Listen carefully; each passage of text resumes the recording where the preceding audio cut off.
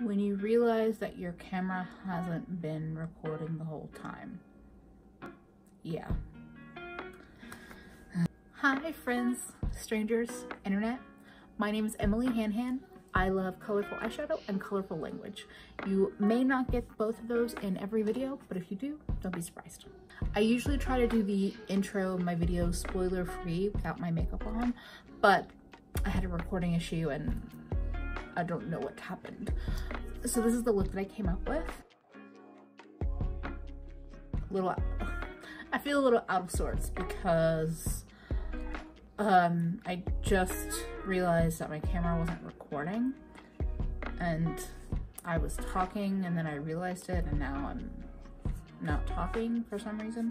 Uh, I guess I'll go back to what I was talking about. So I just recently purchased two softbox lights and a uh, uh, like tripod for the for the floor. I was using a like little little tripod that almost looks like it has like octopus legs like it's a it's a flexible bendable tripod that I've had for years so anyway the so the the little tripod that I was using every time anything would touch the table it would shake the camera which since I was doing makeup on that table I felt like I was shaking the camera a lot so I finally have everything that I ordered. It was a little bit of a escapade to get everything. And I am recording for the first time using my old ring light, which is uh, janky, and my two softbox lights and the tripod. So I don't know, it's just a new experience. So I could get closer to the tripod. I don't have my table right in front of me. I have it to the side um, in case I'm looking over here a lot. That's what I'm dealing with right now. I have my brushes right here, so I know I'm explaining everything to you because I'm self-conscious about anything that happens in any of my videos, but especially when there's different different stuff or changes. My hope is that, you know, quality is better um, in terms of lighting I, I really feel like I know very, very, very little about lighting, but right now I only have my my special lights on. I don't have any of my apartment lights on, and I don't know if that's better or I also don't know if any of you care at all about anything I'm talking about right now, so I'm trying to not just be like somebody that only talks about YouTube stuff, but it's also like what's been going on this week, so I felt like it was relevant to to my video. I'm a pretty introverted person, and so I don't really chat about like minutia of my life on a regular basis, except to the internet, I guess. But I am excited because it just feels nice to have even I didn't expect the tripod to like make me so happy, but it has like levels and and just things for me to nerd out about. I did my brows and my eye base off camera and I'm gonna dig into some blue eyeshadow. So this is a mix of shadows from Sydney Grace, Clionadh, Devinah, and JD Glow. I'm definitely not using them all on my eyes today. I just plucked out a bunch because I wasn't sure what I wanted to try.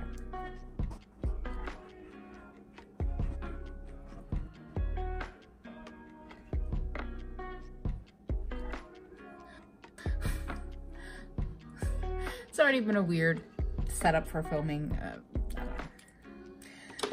I'm in a weird mood as, as always, but this is um the matte shadows I'm going to be using are from Sydney Grace. They're from their dupe bundle that they did when Icy Betch uh, was was fooled to oh I can't talk right now this is the their like dupe bundle to the original Icy Betch when it was like sneak peek to us April Fool's 2018 and then you know then Tarte released their version this year that I was not inspired by. Anyway. Whew. okay. So yeah. So I've recently purchased this from somebody else who had bought it and didn't have luck with their Sydney Grace shadows. I had only tried three Sydney Grace shadows before these, but I felt like I was going to uh, get along with the formula pretty well, so I thought I would buy it at a slight discount. Because my skin is so pale, I can do this blending up and out thing with blue shadow with this color in particular and it works, but I also want to just say for anybody that is looking at this and thinking about recreating it, this move that I'm doing might not work for you.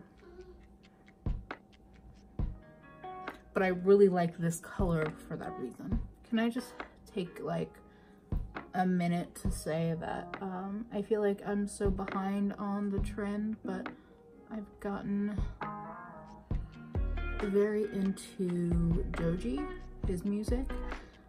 Uh, yeah, I'm probably one of the last people to like find him, but I have been completely uh, addicted or uh, I don't like the words addicted or obsessed, but I, I'll use them. Anyway, I have been comp I've been so into Slow Dancing in the Dark, that song in particular, I could listen to that song over and over and over again, and I have, and I have not gotten tired of it. I don't know what it is, and the video is like weird and delicious, and uh, I'm I'm so into his music right now. Yeah, I've been li I've listened to Slow Dancing in the Dark probably more times than I can count, and I've only I've only been listening to his music for maybe the last month. And then also, and I know, I don't know, this feels very basic in some way or very millennial to say, but Billie Eilish, her music, I don't, it's just a mood. I don't know. Like I said, I feel way out of my element talking about her music or either of their music, but I just, uh, and those two together are like that playlist. I don't know. I've just been all into it.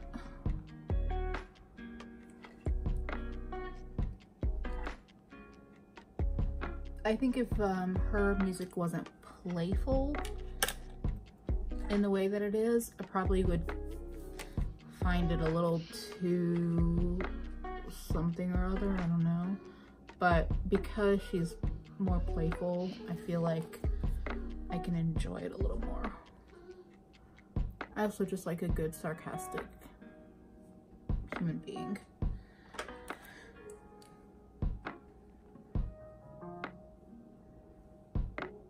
Okay.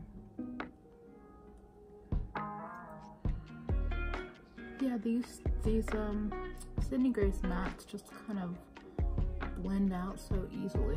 I always struggle with the hooded eye life because I wanted just a little bit more of this blue to show up with my eyes open.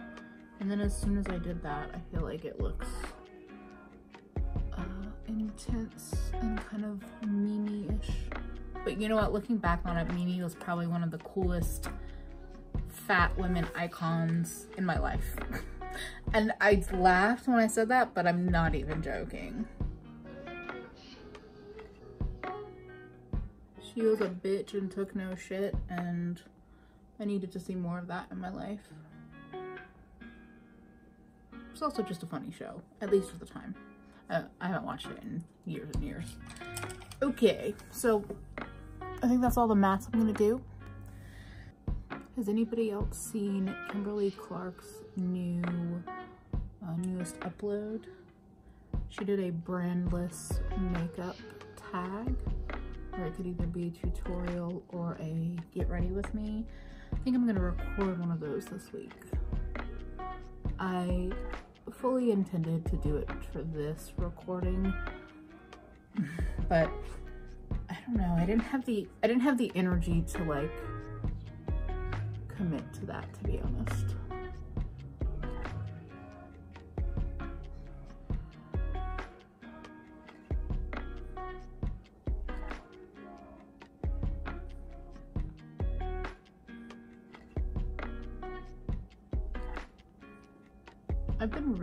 Enjoying using my beauty sponge as a kind of corrector when I go too far out on the eyes and I just have to give many thanks to Butte Bean for that little tip. I feel like I've seen people do it before, but she has used that trick so, but she has used that technique so much lately, um, and it just reminded me that you could do that and especially when your sponge is still damp and has some of your product left on it, it I feel like that really helps.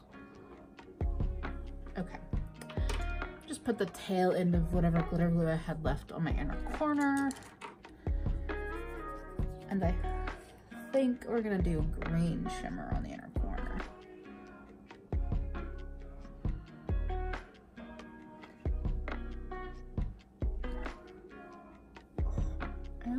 do that though. I always...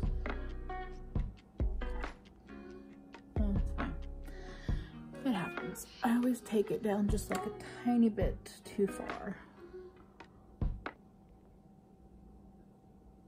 It also might be the brush, but I love this brush for shimmer placement and application. Yeah. Okay. Going in with a little bit of a green on the lower lash line.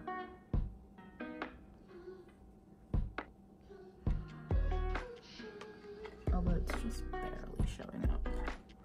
That's okay though.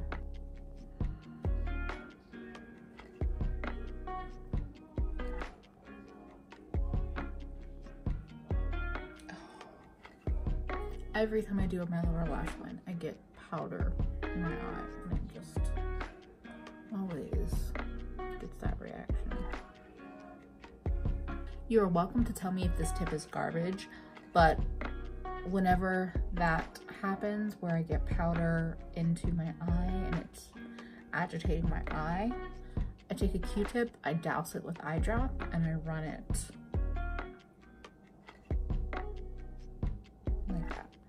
And basically clean that lower lash line and upper lash line.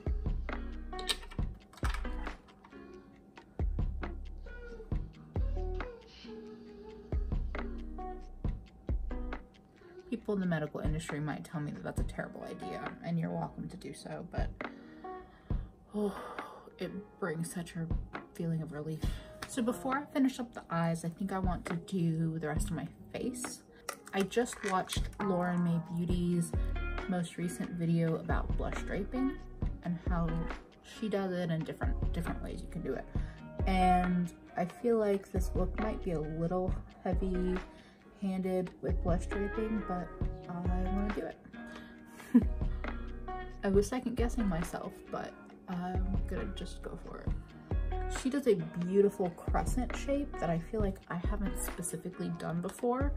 Um, and I really recommend watching her video. I will try to remember to link it actually in the cards because I think it's just so nicely done she kind of talks through different shapes um, in the first part of the video, but then shows this specific look. And I feel like the photo references she pulled were also just so nice because sometimes with blush draping, sometimes I'll see the same looks or similar shapes all the time. She does this like crescent moon shape, which I think I already said and she uses about three different blush tones to do it. Between her and Hannah Louise Poston and Mia and a bunch of people that I follow on Instagram. I just, I see blush draping so much and I love it because I think that, um, I don't know, I just love it. I like adventurous makeup and I think that sometimes it's just a good reminder that like, it's just makeup, it's not that serious. So feel free to watch her video to get a better sense of like the logistics of it.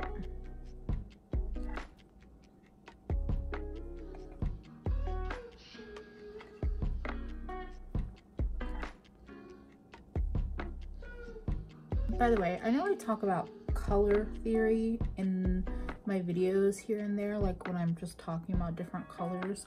I think I'm gonna do a more focused series. I'm not exactly sure how I want to do it. But if, I mean, and I know I have a small audience, but if anybody has any direct questions about color theory, mixing colors, things like that, let me know. I love talking about that kind of stuff and thinking about that kind of stuff because I think the thing for me with makeup and the reason why I've connected to it so strongly uh, lately is that, you know, I grew up doing a lot of art from a young age and then like a little bit through college. My major was kind of creative, but kind of not at the same time. So that's why I say a little bit. Oh, now I overdid it. Ooh, ooh, ooh. Um, so anyway, so I have some experience, you know, with that knowledge, I guess that you could say. And I really like bringing that knowledge into makeup. That's our Okay, I think that's better. I want to actively work on bringing color theory into video ideas and how do I want to highlight? I just got distracted. How do I want to highlight this? I'll start here and figure it out.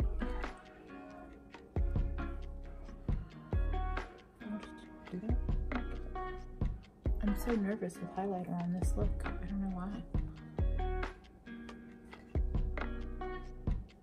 I wasn't sure if I was going to bring in this, but I'm gonna throw on some duochrome peachy highlight.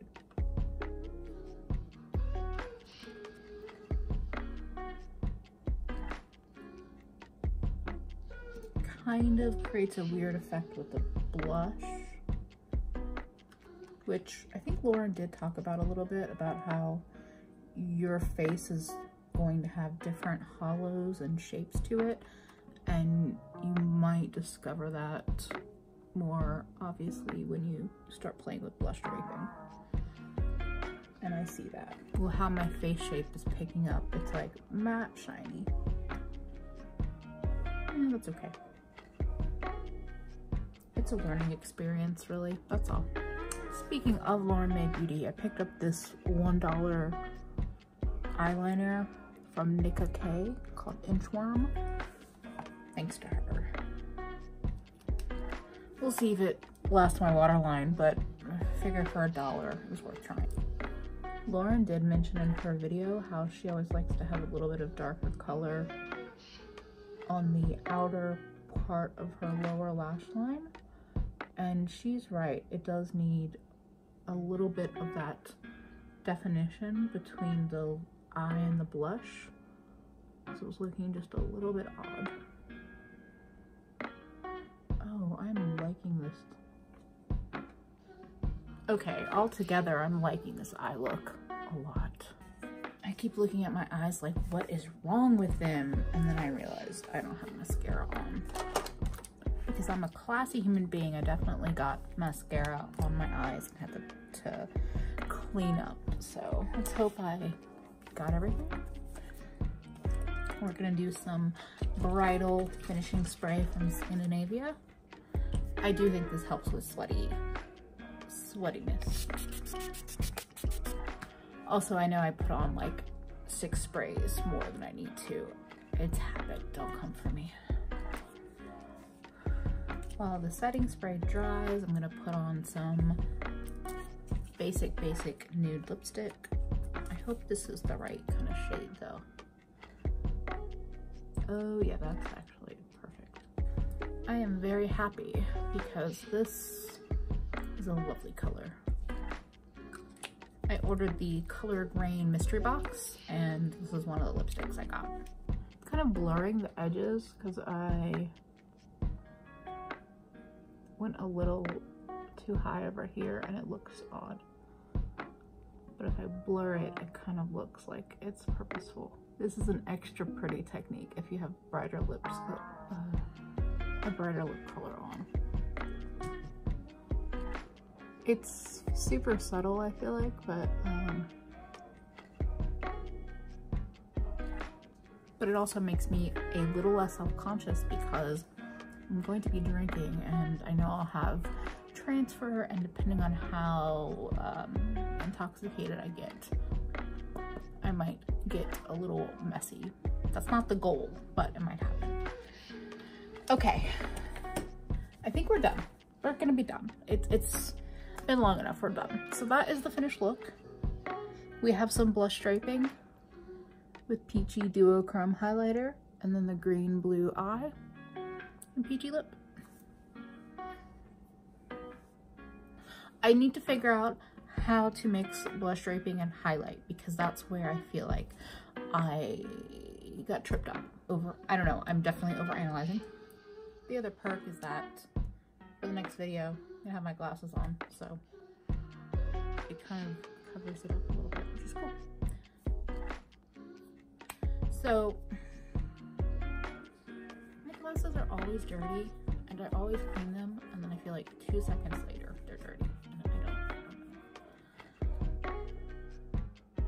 So that is a little chatty get ready with me talking about music and video ideas and trying new techniques.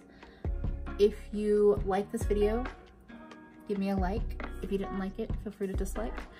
If you are new here and have not subscribed, I would love for you to subscribe to my channel.